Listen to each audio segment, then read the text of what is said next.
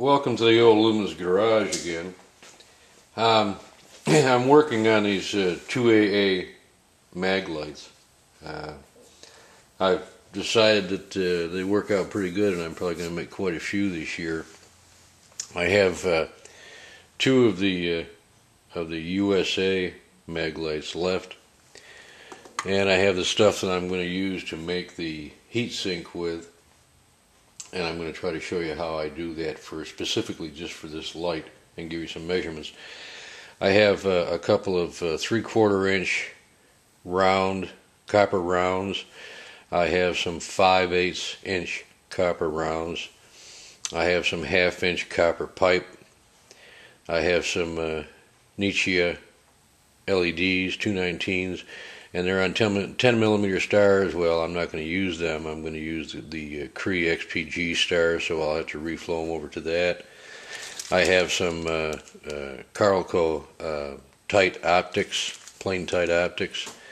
Uh, the copper shot for filling the heat sinks, uh, the pipe cutter, tubing cutter, my trusty torch, uh, something to measure with, my stone for heating when I make the heat sinks and uh, from there I'm just gonna you know go through and, and as I do the different sections I'll stop and start and show you what's going on. Okay I've got uh, the light apart and I want to go over some of the measurements uh, specifics about what needs to be done. The uh, this particular Carlco optic is uh, 10 millimeters deep, okay, and 20 millimeters in diameter. Also, this particular one is one that's made to go into a holder so that there's a tab on it. That tab has to be removed, brought down flush to the rest of the lens, okay.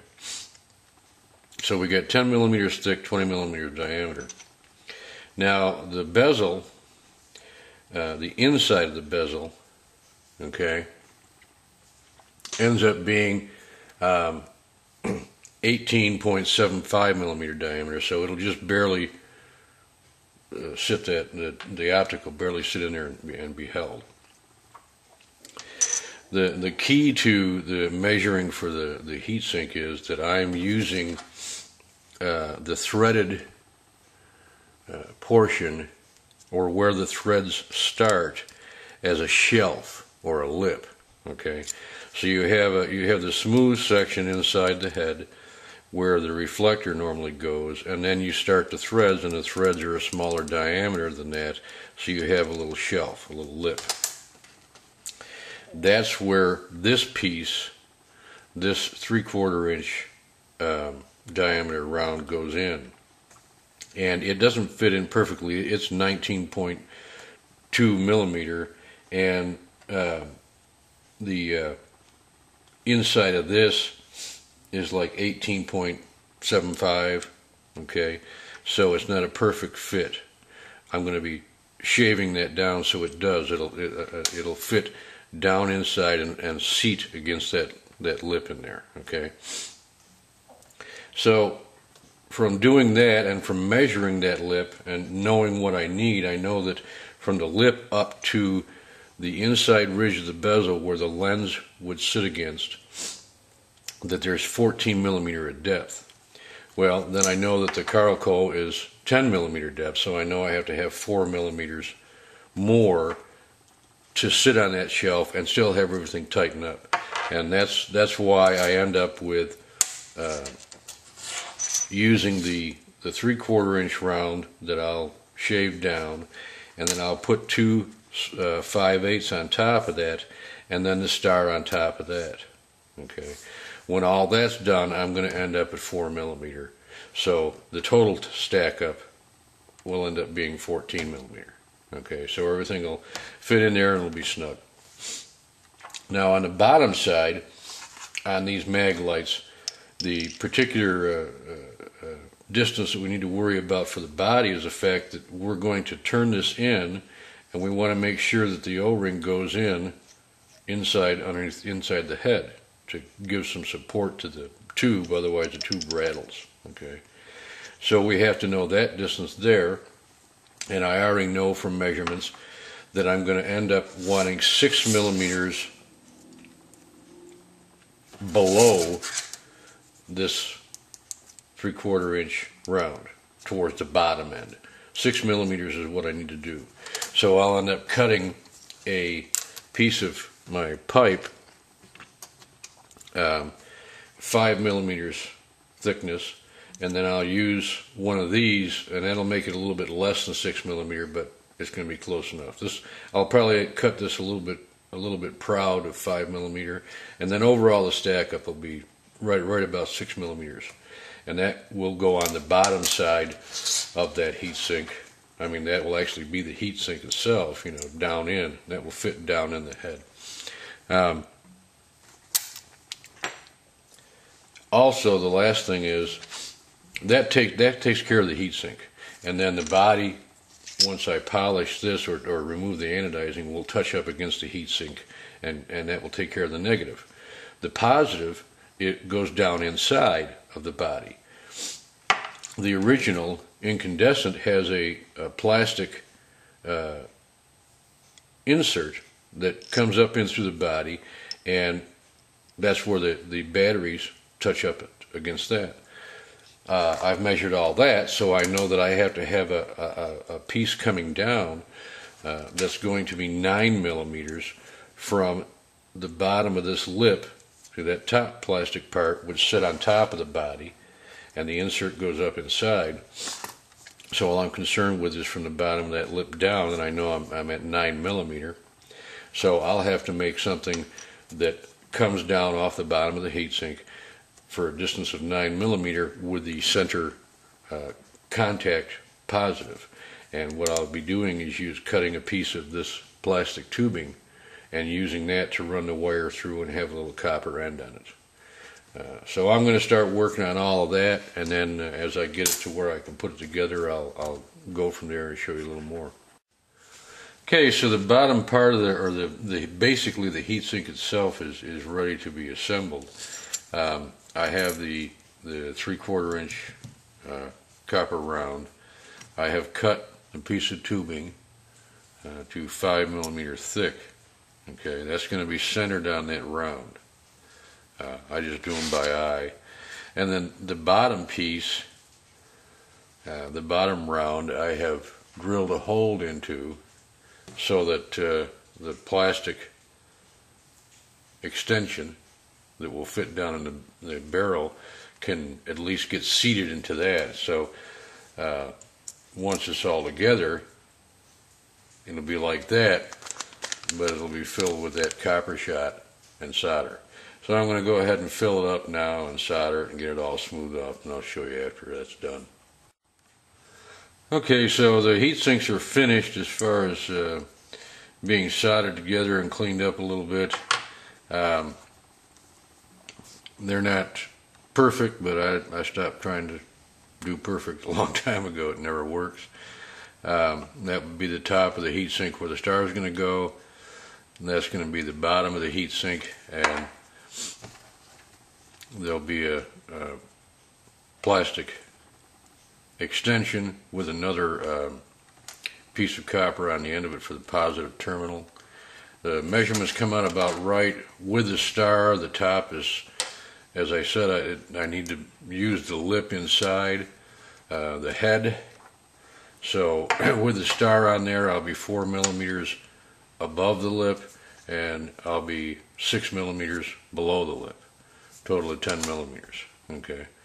And that's it. I mean, for the heat sinks, I'm going to go ahead and finish up, put stars on them. I still have to uh, reflow the, the uh, LEDs on the stars and uh, I'll go ahead and do the bottom side too. When I get to, to doing that, I'll, I'll show you again what I do with it. But basically, that's uh, that's what it is right there.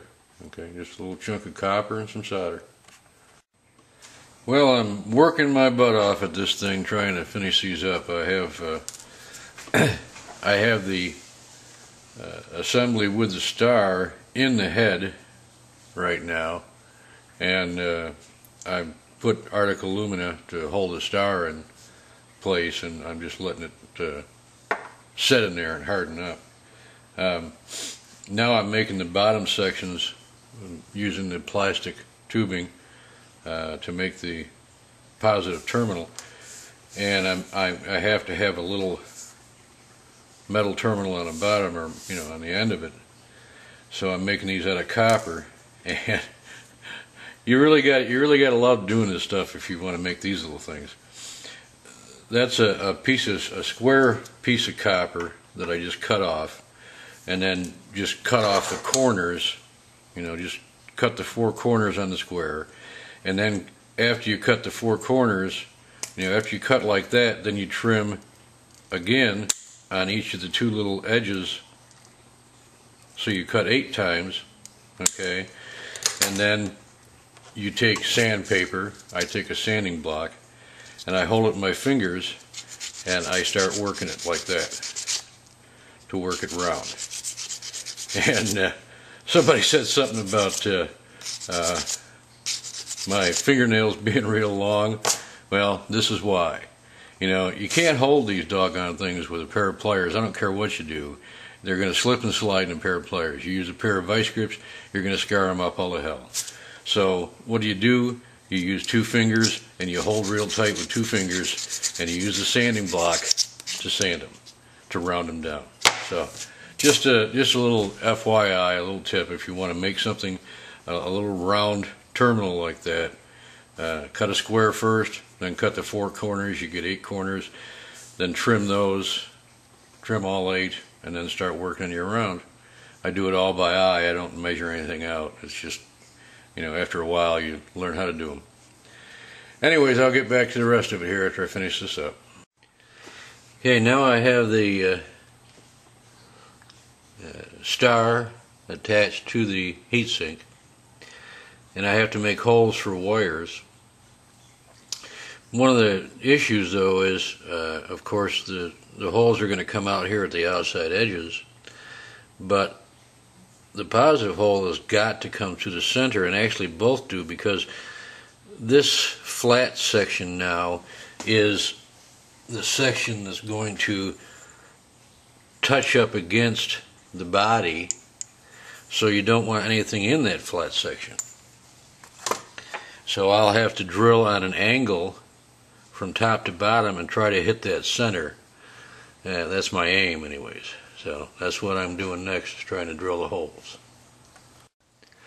Okay, now the holes have been drilled for the two wires, positive, negative, and they did come out through the center. You can probably not see, but you can see me poking that in there, that they did both come out through the center.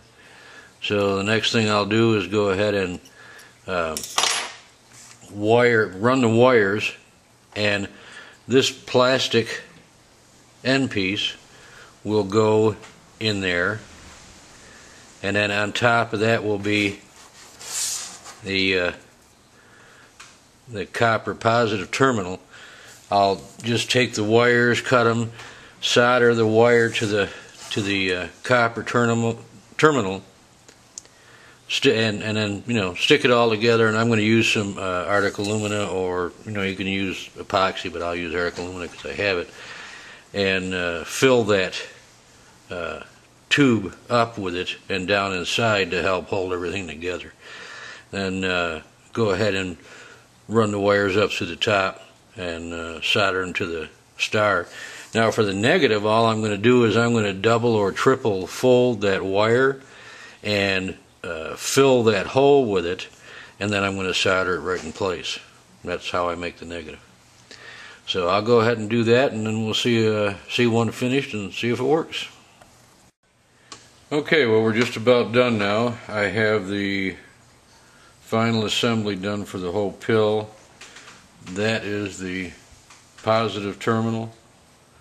Uh, wire goes down through, comes up to the positive on the star, negative on the star goes down inside and you might I doubt you'll be able to see but there's a little bit of, there's it's soldered right into the into the the heat sink um, I've taken and uh, used some Arctic Ceramique and that's just thermal compound instead of thermal adhesive, and rubbed it into the th- first couple threads.